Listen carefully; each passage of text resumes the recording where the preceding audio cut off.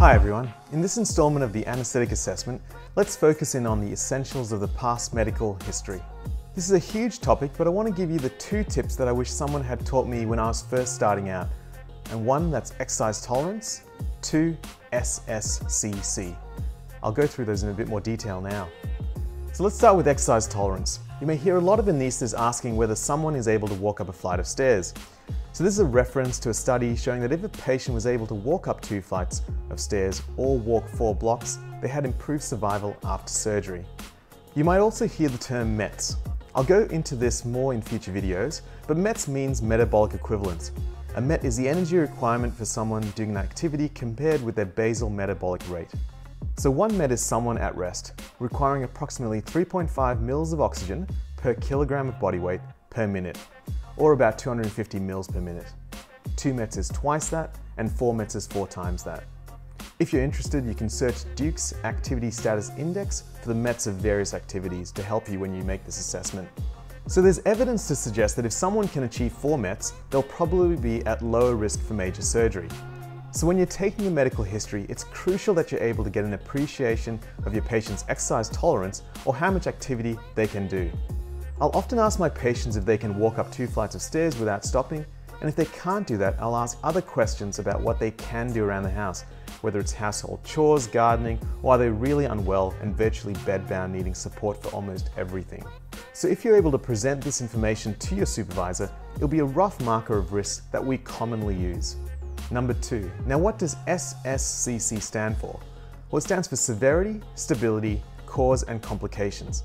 It's really just a reminder to be a detective and think about all aspects of the disease in a clinically relevant way. So a bit of background. Throughout your medical training, you'll have these three words drummed into you. History, examination, and investigation. In fact, these three words are the most important tools you have in your diagnostic toolkit. No matter what the problem, you take a history, you do an examination, and order investigations to come up with the differential diagnoses and a management plan. But if you want to communicate your findings to your boss, to show you understand what's really important, I'd argue that this is not the way you need to think. So history examination and investigation are great tools for information gathering, but they aren't great for synthesizing and organizing information to communicate understanding. Now imagine you're looking after a patient with heart failure.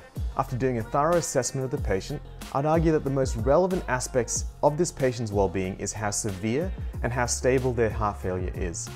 So I take all of the information I've acquired and then make a judgment call on the severity. Often there's also a scoring system, like for example the NYHA class for heart failure, and other times it's about making a judgment call. Is the disease mild, moderate, or severe? So the synthesis of this information is what doctors do, and it is immediately relevant. For example, mild disease often has minimal surgical impact. However, severe disease will need specialist input and a tailored approach. Likewise for stability, an acute exacerbation of disease implies unstable disease.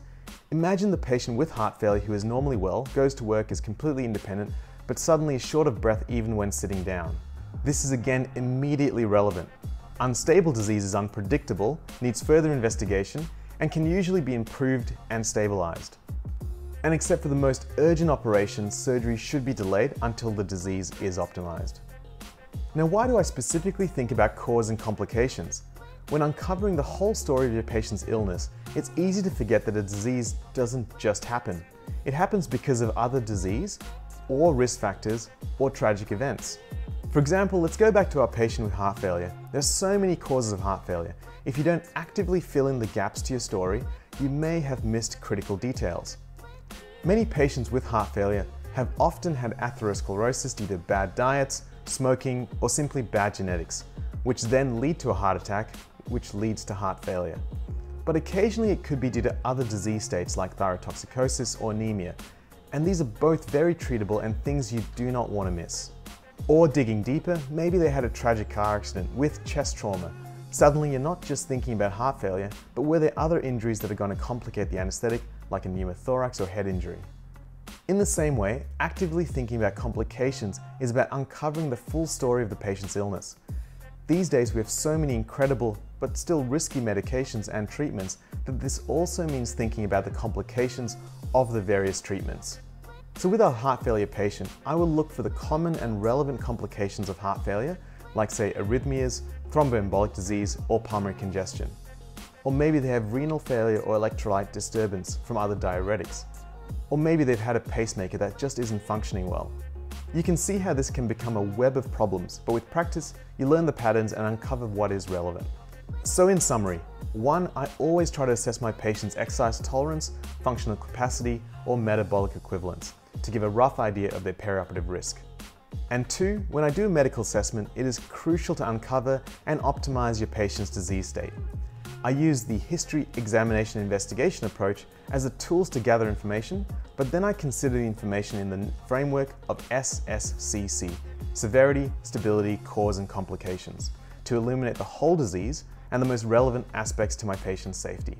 So I hope you enjoyed this video. Please comment below if you have any questions and check out the other videos on the anesthetic assessment for more tips and tricks.